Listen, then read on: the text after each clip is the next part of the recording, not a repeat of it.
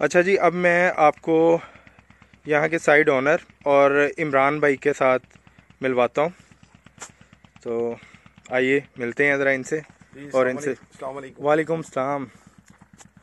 यहाँ पे हमने रमज़ान मुबारक के करीब या मिड ऑफ़ रमज़ान में यहाँ पे एक साइट लगाई थी उसकी वीडियो वगैरह जनरेट की हमने पहले भी वीडियो उसकी अपलोड है अपने यूट्यूब के ऊपर भी। उसको भी ट्राई कोशिश करेंगे कि इस वीडियो के साथ लिंक करें।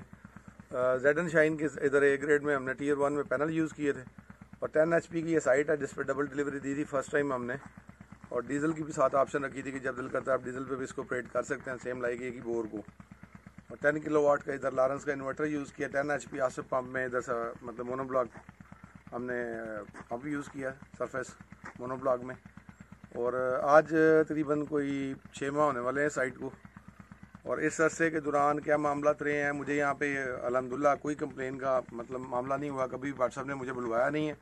आज मैं छः माह के बाद खुद ही आया हूँ किसी मामले के तहत। तो अभी मेरे दिल में था कि साइट पर जाके तो साइट का विज़िट कर लें और दूसरा व्हाट्सअप से पूछेंगे ये छः महीनों ने कैसा पाया सिस्टम इसमें कुछ सवाल मेरे दिल में भी हैं, लोगों के भी जहन में होते हैं सवाल सोलर के रिगार्डिंग मतलब यहाँ पे बी ग्रेड ए ग्रेड के मामला तो फिर सर्विसेज़ पॉइंट ऑफ़ व्यू से। तो व्हाट्सअप से मैं कुछ चीज़ें भी पूछना चाह रहा हूँ, वो पूछता हूँ।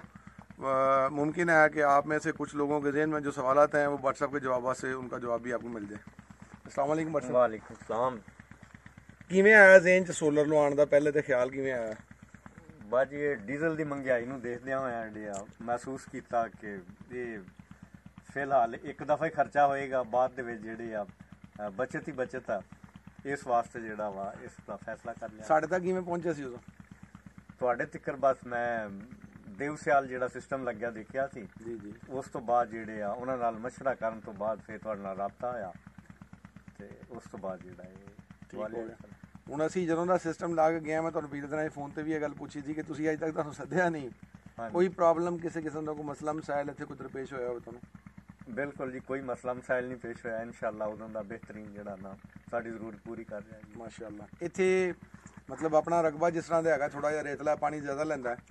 ਤੁਸੀਂ ਕੀ ਅੰਦਾਜ਼ਾ ਲਾਉਂਦੇ ਹੋ ਕਿ 10 ਐਚਪੀ ਦੀ ਜਿਹੜੀ ਸਾਈਟ ਹੈਗੀ ਉਹ ਕਿੰਨੇ ਏਕੜ ਵਾਸਤੇ ਕਾਫੀ ਹੈ ਇੱਥੇ ਤੁਹਾਡਾ ਜਿਹੜਾ ਤਜਰਬਾ ਇਸ? ਰਕਬੇ ਤੇ ਜੀ ਕਮ ਕਮ ਜਿਹੜਾ ਤਕਰੀਬਨ 20 ਏਕੜ ਨੂੰ ਸੰਭਾਲ ਸਕਦੀ ਆ ਇਹ ਮੁੰਜੀ ਮੁੰਜੀ ਨੂੰ ਅਗਰ ਰਕਬਾ ਜਿਹੜਾ ਇਸ ਦੀ ਬਨਿਸਬਤ ਕੋਈ ਪੱਕੀ ਸਾਈਡ ਦਾ ਹੋਵੇ ਤੇ ਫੇਰ ਹੋ ਸਕਦਾ ਵੀ ਇੱਕ ਮਰਬੇ ਨੂੰ ਵੀ ਸੰਭਾਲ ਸਕੇ 30 ਏਕੜ ਤੱਕ ਵੀ ਸਾਡੇ ਕੋਲ ਆਪਣੇ ਤਜਰਬੇ 'ਚ। ਵੀ ਹੈ ਠੀਕ ਹੋ। ਗਿਆ ਤੇ ਦੂਸਰਾ ਕਿ ਸਾਡੀ ਸਰਵਿਸਿਜ਼ ਦੇ ਹਵਾਲੇ ਨਾਲ ਤਾਂ ਤੁਹਾਨੂੰ ਕਦੇ ਜ਼ਰੂਰਤ ਨਹੀਂ ਪਈ ਅੱਜ ਹੀ ਮੈਂ ਕਾਫੀ ਦਿਨਾਂ ਬਾਅਦ ਤੁਹਾਡੇ ਮਤਲਬ ਅੱਜ। ਮਿਲਣ ਨਹੀਂ ਆਇਆ ਇਸ ਤੋਂ ਇਲਾਵਾ ਕੋਈ ਵੀ ਕਿਸੇ ਕਿਸਮ ਦਾ ਕੋਈ ਮਸਲਾ ਨਹੀਂ ਕੋਈ ਮਸਲਾ ਮਸਾਇਲ ਨਹੀਂ ਹੈ। ਦੇ ਵਿੱਚ ਕਿਵੇਂ ਰਹੇ ਫਰੇਮ ਕੋ ਹਨੇਰੀ ਆਈ ਉਸ ਤੋਂ ਬਾਅਦ ਜਦੋਂ ਸਿਸਟਮ ਲੱਗਾ? ਮੌਸਮ ਬਾ ਖਰਾਬ ਹੁੰਦੇ ਹੀ ਰਹਿੰਦੇ ਆ ਤਕਰੀਬਨ ਜਿਹੜਾ ਸਹੀ ਮਾਮਲਾ ਚੱਲ ਰਿਹਾ। ਫਰੇਮ ਸਟਰਕਚਰ ਨੂੰ ਕੋਈ ਮਸਲਾ ਮਸਾਇਲ ਨਹੀਂ ਨਾ ਹੋਇਆ ਕਿਸੇ ਕਿਸਮ ਦਾ? ਨਹੀਂ ਕੋਈ ਨਹੀਂ। ਠੀਕ ਹੈ ਤੇ ਕੀ ਕਹਿੰਦੇ ਹੋ ਤੁਸੀਂ? ਤੁਹਾਡਾ ਕੀ ਮਸ਼ਵਰਾ ਹੈਗਾ? ਸਪੈਸ਼ਲੀ ਕਿਸਾਨ ਭਾਈਆਂ ਵਾਸਤੇ ਕੀ ਮਸ਼ਵਰਾ ਹੈਗਾ? ਸੋਲਰ ਲਵਾਉਣਾ ਚਾਹੀਦਾ ਹੈ, ਨਹੀਂ ਲਵਾਉਣਾ ਚਾਹੀਦਾ? ਕਿਵੇਂ ਲਵਾਉਣਾ ਚਾਹੀਦਾ? ਹੈ? ਮਤਲਬ ਕਿਸ ਤਰ੍ਹਾਂ ਬੰਦਾ ਸਰਚ ਕਰਕੇ ਲਵਾਇਆ ਕਿ ਇਹਦੇ ਕੋਲ ਲਵਾਉਣਾ ਚਾਹੀਦਾ? ਰੈਫਰੈਂਸ ਜ਼ਰੂਰੀ ਹੈ ਇਹਦੇ 'ਚ? ਪਹਿਲੇ ਕਿਸੇ ਲੱਗ- ਲੱਗਿਆ ਸਿਸਟਮ ਜਿਹੜਾ ਉਹਦਾ ਪੁੱਛ ਕੇ ਕਿਸੇ ਜ਼ਿੰਮੇਦਾਰ ਦੇ ਹਵਾਲੇ ਨਾਲ ਜਾਣਾ ਉਹ ਬਿਹਤਰ ਹੈ ਕਿ ਆਪਣੇ ਕੋਲੋਂ ਹੀ ਐਵੇਂ ਅੰਦਾਜ਼ੇ ਨਾਲ ਕਿਸੇ ਬੰਦੇ ਨੂੰ ਕੰਮ ਦੇ ਦੇਣਾ ਚਾਹੀਦਾ? ਸੋਲਰ ਦਾ ਲਵਾਉਣ ਦਾ ਇਹ ਆ ਵੀ ਬੰਦਾ ਇੱਕ ਦਫਾ ਪੈਸੇ ਭਰ ਦਿੰਦਾ ਇੰਜ ਆ ਵੀ ਜਿਵੇਂ ਪੈਸੇ ਬੈਂਕ ਦੇ ਵਿੱਚ ਮਹਿਫੂਜ਼ ਕਰ ਦਿੱਤੇ ਆ ਤੇ ਪੈਟਰੋਲ ਪੰਪ ਤੋਂ ਜਿਵੇਂ ਮੁਫਤ ਜਿਹੜਾ ਨਾ ਡੀਜ਼ਲ ਆ ਰਿਹਾ ਠੀਕ ਹੋ ਗਿਆ। ਮਤਲਬ ਇਹ ਕਿ ਖਰਚੇ ਦੀ ਕਾਫੀ ਹੱਦ ਤੱਕ ਜਿਹੜੇ ਨਾ ਬਚਤ ਆ ਤੇ ਪਰੇਸ਼ਾਨੀ ਵੀ ਖਤਮ ਹੋ ਜਾਂਦੀ ਇਹ ਤੁਹਾਡਾ ਇੱਕ ਆਪਣਾ ਜ਼ਾਤੀ ਤਜਰਬਾ ਵੀ ਹੈ ਨਾ ਤੁਸੀਂ ਮੈਨੂੰ ਮੇਰੇ ਤੱਕ ਆਪਣੇ ਇੱਕ ਖਾਸ ਤਰੀਕੇ ਨਾਲ ਤੁਸੀਂ ਪਹਿਲੇ ਇੱਕ ਜ਼ਿਮੀਂਦਾਰ ਦਾ ਲੱਗਾ ਵੇਖਿਆ ਫਿਰ ਉਹਨਾਂ ਡਿਸਕਸ ਕੀਤੀ ਉਹਨਾਂ ਨਾਲ ਮਸ਼ਵਰਾ ਕੀਤਾ।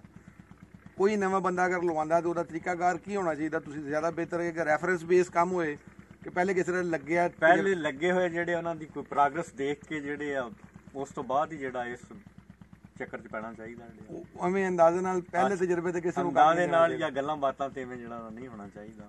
ਹੁਣ ਮੈਂ ਜਿਹੜੀ ਆਖਰੀ ਗੱਲ ਉਹ ਤੁਹਾਡੇ ਨਾਲ ਕਰਾਂਗਾ ਕਿ ਮੈਨੂੰ ਤੁਹਾਡੇ ਜੈਸੇ ਦੋਸਤਾਂ ਦੀਆਂ ਭਰਾਵਾਂ ਦੀਆਂ ਨਾ ਤੁਸੀਂ ਹਲਾਲ ਦੀ ਰੋਜ਼ੀ ਵਾਸਤੇ ਕੋਸ਼ਿਸ਼ ਕਰ ਰਹੇ ਹੋ ਔਰ ਮੈਂ ਵੀ ਕੋਸ਼ਿਸ਼ ਕਰ ਰਿਹਾ ਕਿ ਤੁਹਾਨੂੰ ਮਤਲਬ ਜਿਸ ਹੱਦ ਤੱਕ ਵੀ ਅਸੀਂ ਵੀ ਸਪੋਰਟ ਕਰ ਸਕਦੇ ਹਾਂ ਕੋਈ ਫੈਸਿਲਿਟੇਸ਼ਨ ਮੋਡ ਤੇ ਜਾਂ ਜਿਸ ਤਰ੍ਹਾਂ ਵੀ ਮਾਮਲੇ ਤੇ ਤੇ ਅਸੀਂ ਵੀ ਖਾਲਸਤਾਨ ਕੋਈ ਹਲਾਲ ਦੀ ਰੋਜ਼ੀ ਦੇ ਵਿੱਚ ਮਤਲਬ ਆਪਣਾ ਹਿੱਸਾ ਤਲਾਸ਼ ਕਰ ਰਹੇ ਹਾਂ ਤੁਹਾਨੂੰ ਮਿਲ ਕੇ। ਹਾਂਜੀ। ਤੇ ਦੁਆਵਾਂ ਦੀ ਦਰਖਾਸਤ ਹੈ ਕਿ ਮੇਰੇ ਵਾਸਤੇ ਮੇਰੀ ਟੀਮ ਵਾਸਤੇ ਔਰ ਮੇਰੇ ਜਿਹੜੇ ਫੈਸਿਲਿਟੇਟਰ ਨੇ ਜਾਂ ਜਿਹੜੇ ਲੋਕ ਮੇਰੇ ਨਾਲ ਅਟੈਚ ਨੇ ਉਹਨਾਂ ਦੇ ਹੱਕ 'ਚ ਤੁਸੀਂ ਖਸੂਸੀ ਤੌਰ ਤੇ ਨਾ ਸਾਨੂੰ ਆਪਣੀਆਂ ਬਿਲਕੁਲ ਕਿਉਂ ਨਹੀਂ ਜਿਹੜੀ ਦੁਆਵਾਂ 'ਚ ਜ਼ਰੂਰ ਯਾਦ ਰੱਖਣਾ। ਬਿਲਕੁਲ ਯਾਦ ਰੱਖੀਏ ਸਾਜ਼ਦਾਰ ਦਾ ਵੀ ਇੱਕ ਆਦਮੀ ਨੂੰ ਅਗਰ ਕੋਈ ਫਾਇਦਾ ਹੁੰਦਾ ਕੋਈ ਸਹੂਲਤ ਹੁੰਦੀ ਆ ਤੇ ਵਕਤ ਵਕਤ ਤੇ ਯਾਦ ਕਰਦਾ। ਇਨਸ਼ਾਅੱਲਾ ਤੁਹਾਡੇ ਮੁਲਾਕਾਤ ਰਹੇਗੀ ਭੈਣ ਠੀਕ। ਹੋ ਗਿਆ ਅਸਲਾਮ ਅਲੈਕੁਮ।